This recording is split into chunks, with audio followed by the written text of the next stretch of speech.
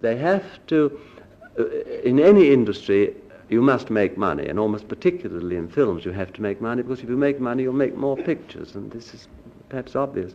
Um, and they have to cater in films for the majority. The minority will always suffer, as in most things. And uh, apparently, in the eastern countries, and indeed in, in, in America, uh, they like to get their money's worth. They like to be shown. Because in again, the, shall I say, the old days, in the first Frankenstein, we did what was called an Eastern version. For instance, I believe there is a part where I lop a man's head off and I put it in a basin of acid. Well, in the English version, you just saw me go like that and some smoke came up, you know, the prop man telling you all the secrets now.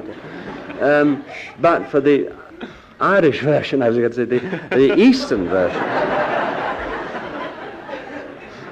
you actually had a shot looking into the bath with his head disintegrating. Now it seems to be done for all stations, west, north, south, and east.